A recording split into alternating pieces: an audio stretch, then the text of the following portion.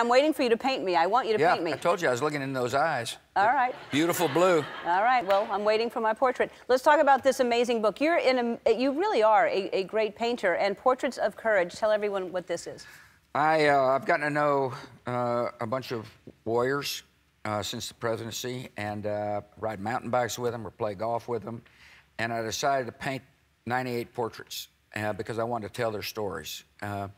Our veterans are a unique asset for our country, and uh, we need to not only honor them, but to the extent they want help, help them transition from the military to civilian life. And, uh, and this book uh, calls attention to what works and what doesn't work, for example, in dealing with post-traumatic stress and traumatic brain injury. And all the proceeds go? Go to the Bush Center, thank you, the Bush Center yeah. Dallas, Texas, all for our VETS program.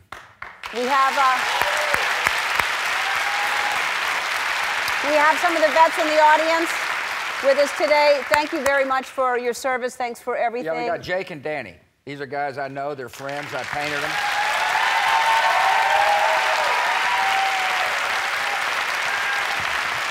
That's Danny.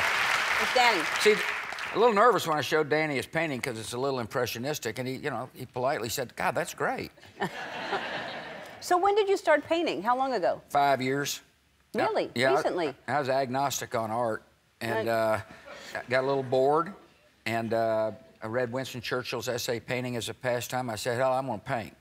He's, he was good. Yeah, he was good. He was really good. Really good. And so I hired an instructor and you, the art community wasn't exactly my base of support when I ran for office.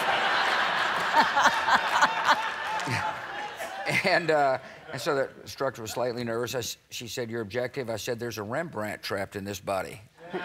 and your job is to find him. And so I start painting. I paint all the time. Really? Yeah. Every day? Yeah. I mean, they really are. They're, you're really talented. I can't believe well, you just started you. five years ago. I painted, uh, these are painted with a lot of passion.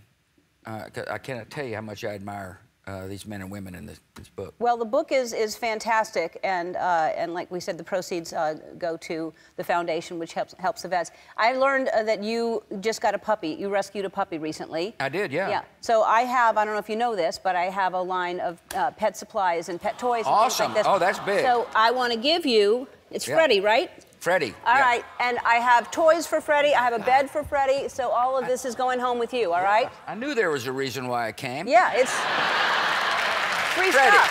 Yeah, free stuff. Yeah, baby. Yeah. All right, Portraits of Courage is in bookstores now. We'll be right back.